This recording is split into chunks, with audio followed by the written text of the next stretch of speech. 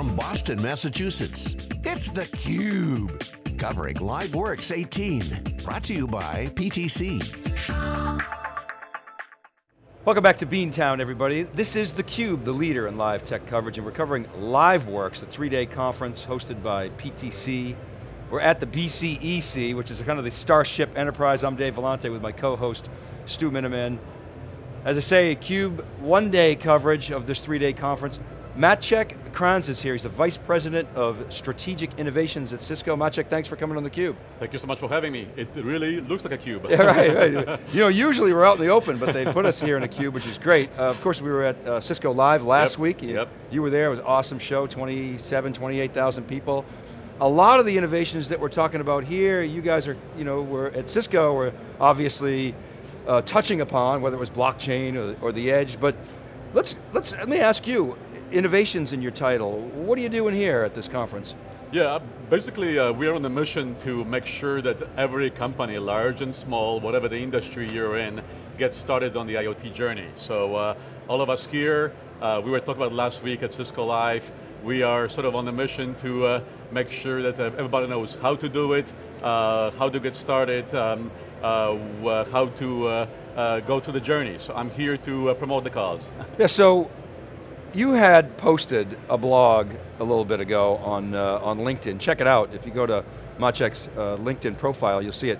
Five myths around, around IoT, and I thought it was, it was, quite instructive. And I'm going to start with you know, middle, which is IoT is this one big market. And uh -huh. we've been uh-huh. talking about how it's a you know, trillion dollar market. I mean, it's, it's almost impossible to size.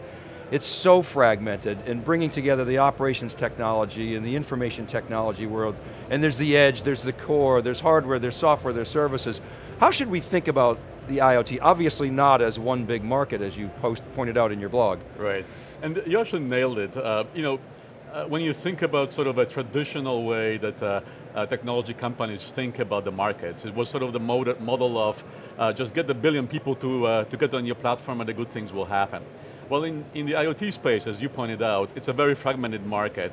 So you basically need to have two strategies.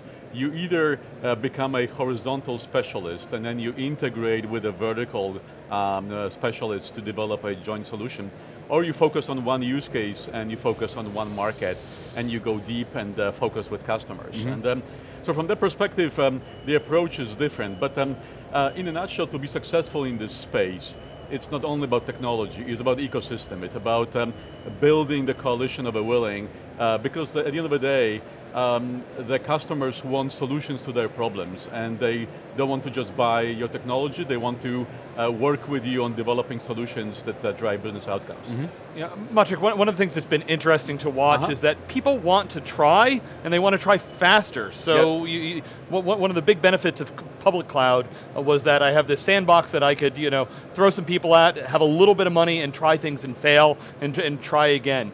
One of the concerns I have when I hear things like PTC and Microsoft get up on stage and say, it's going to take 20 to 25 partners to put this together, when I hear that it's fragmented, it's going to take time, it's going to mm-hmm. take money. Help us, you know, are there ways I can start playing with things to understand what will and won't work for my environment, or is this something that I have to throw a million dollars in a group of people for a year and a half on?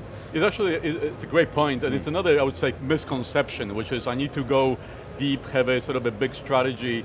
One of the things that I talk about uh, with the customers is, uh, yes, dream big, but start small.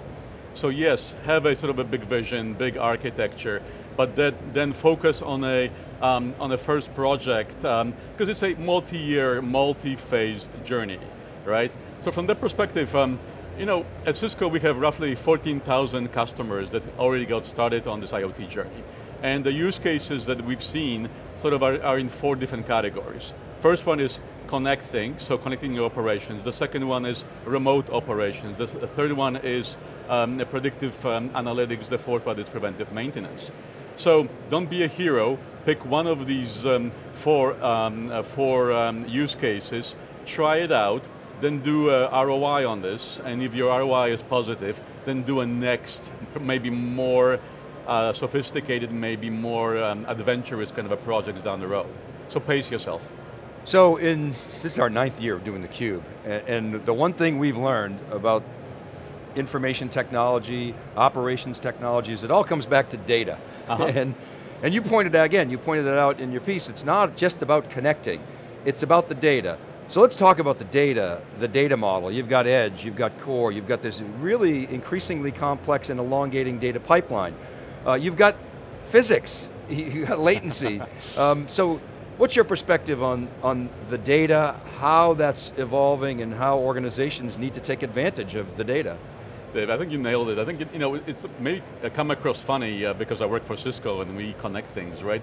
But if you think about the first wave of internet, the main purpose of the devices and the way we were connecting them was uh, basically for you and I to get access to each other, to get access to the online data, to the online processes. The main purpose we connecting IoT devices so that they can generate the data and then we can analyze the data, turn the systems into solutions to drive business outcomes. So from that perspective, um, we're actually seeing a, um, a big shift in, uh, in the sort of data model and requires flexibility. Um, traditionally, um, we talked about cloud, right?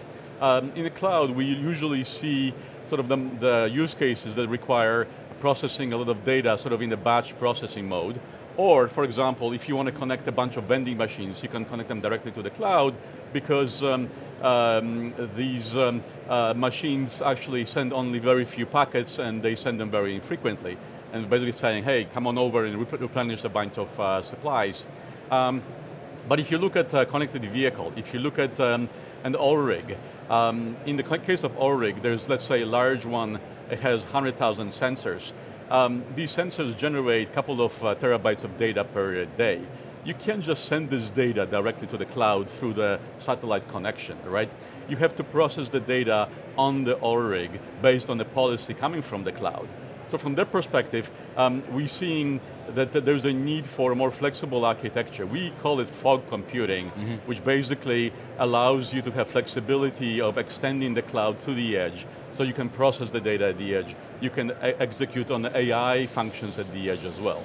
So that's one of the big architectural shifts that we're seeing with IoT as well. Yeah, Maciek, one of the opportunities of new architectures has been to do a, re a, a, a redo for security. Uh -huh. When it comes to IoT though, there's a lot of concern around that, that yep. because just the surface area uh, that we're going to have, the, the devices, Talk to us about how security fits into IoT. Yeah, it's hard to talk about IoT without, without yeah. mentioning security, right? And we have obviously seen uh, over the last two years a lot of uh, press around IoT denial, of service attacks and so forth. And um, you know, for me, I think the silver lining out of all of this news is that first of all, that um, we have seen the vendor community finally taking IoT security seriously. So uh, all the security vendors are actually investing in IoT security now appropriately we're now working together as an industry on standards, on inter interoperability, on um, uh, sort of common architectures, even with the device vendors, right, who traditionally didn't pay much attention to security as well. Uh, sort of like what we, what we, did with Wi-Fi, you remember, about uh, 15 years ago, mm -hmm. but mm-hmm. at a much greater scale. So the vendor community is focusing on it, but more importantly, also the um, businesses are moving sort of from what I would consider uh, sort of a um, uh, I would say, the kind of a denial, uh, like um, uh, hoping that their plant is not connected to the outside world and thus it's secure, right? So um, moving now to the much more modern model, which is basically a comprehensive architecture working with their CISOs um, across the enterprise, focusing on before, during, and after. So IoT now is being integrated uh, into a broader security architecture, and IT and OT are working together. So yes, there is a concern, yes, um, there are a lot of uh, uh, sort of uh, events hitting the news, but I also think that as an industry we're making progress. Just to follow up on that, I mean, Cisco obviously has an advantage in security because you, you know, end to end, you guys make everything, and you can do deep packet inspection, and that -huh. seems to be a, a, a, real advantage to you. But then there's this thing called blockchain, -huh. right? And everybody talks about how blockchain can be applied, and, and where do you see blockchain fitting into the security equation? Yeah, I think that's a good question. Maybe a, a, a maybe a, more of a broader story. I actually believe that there are sort of um, four um, legs to this sort of a digital transformations tool. There's IoT, generating the data and sort of acting on the decisions. There's AI, there is uh, fog computing we talked about, and the fourth tool is blockchain, which basically allows us to uh, make, uh, to make sure that, um, that the, the, data we're using, we can actually trust. At the, at the high level, blockchain you know, people often confuse sort of blockchain and, and Bitcoin and cryptocurrencies, but blockchain is an underlying technology beyond uh, behind sort of the crypto that allows basically multiple parties to um, write their transactions in a sort of fast and permanent way. But in the enterprise context, in the IoT context, blockchain allows us to um, um, actually come up with a very new use cases by uh, looking at the provenance and looking at the data across, um, uh, across multiple um, uh, parties and, uh, and the, the, data we can trust. So for example, the use cases such as uh, counterfeiting, uh, the use cases like food safety, um, like um, uh, patient records, um, uh, like provenance of materials. so now we can enable these use cases because we have a single, um, um, a single source of truth. I want to ask you about disruption. I yep. like the sort of mental model and picture that you created before of horizontal technologies and you kind of get vertical industries. And it seems like, again, I'm bringing it back to data, we, we heard Super Mario at the host of the conference say this is the largest digital transformation conference, which we laughed, like every conference is a digital transformation conference. But to us, digital transformation, digital means data. Exactly. And, and we, that picture you drew of horizontal technology and vertical industries, it's all data. And, and data enables disruption. So it used to be a, a, a vertical stack of talent and, and manufacturing and supply chain within an industry. And now data seems to be blowing that to pieces in digital. You see Amazon getting into, you know, buying Whole Foods and grocery. You see Apple in financial services, others, uh, Silicon Valley type companies disrupting healthcare, which mm -hmm. we, uh, we all know needs disruption. What do you make of, of disruption? It seems like no industry is safe.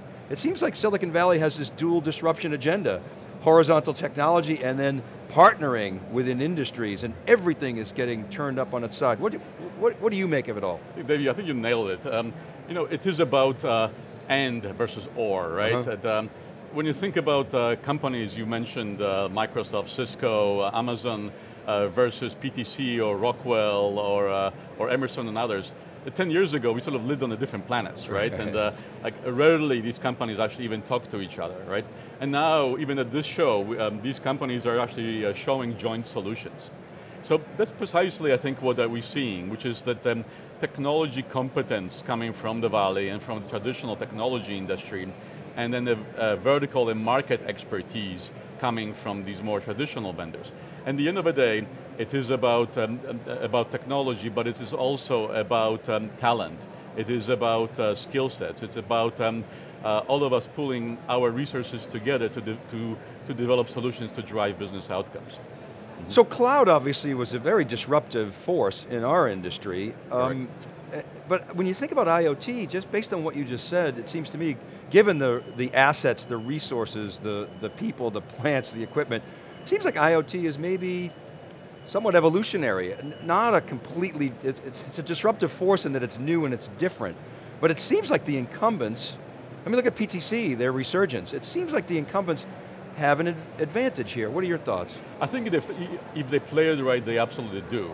Uh, but it requires also a sort of a shift in mindset, and I think we're seeing it already, which is um, moving from sort of a vertical, one company does it all kind of mentality into the let's build an ecosystem based on open systems, open standards, interoperability. Um, and that's sort of a shift I think we are seeing. So for me, I think that um, uh, the incumbents, if they embrace this kind of a model, uh, they absolutely have a critical role to play. On the flip side, the technology companies realizing that they need to uh, it's not only about technology, but it's also about partnering, it's about integrating with um, legacy ecosystems and the le uh, legacy infrastructure so each of the sides of the coin need to learn new tricks. Mm. Okay, last question is uh, your, your initial thoughts anyway on, on this event, some initial takeaways. I know it's early, day one, but you know, you've been here, you've heard the keynotes. Yep. What, your final thoughts? I think so far, it's, so far it's actually a great start to the event. I have to say, what we've talked about already, my um, biggest sort of takeaway is to see, and, and actually joy, is to see um, uh, companies from different walks of life working together. You have robotics companies, you have AI companies, you have uh, industrial companies, uh, all of them are coming up with solutions together. And that's basically what we want to see, is breaking the barriers and uh, multiple uh, companies working together to uh, move the industry forward. And you're also seeing the, the big SIs are here. I can see Accenture, exactly. I can see Deloitte, I know Infosys is here, et cetera, et cetera. So if they're here, you know there's a lot of money to be made. So Maciek, thanks very much Thank for coming you so much. on Thanks theCUBE. for Really a pleasure having you. All right, keep it right there, everybody. This is theCUBE from LiveWorx in Boston. We'll be right back after this short break.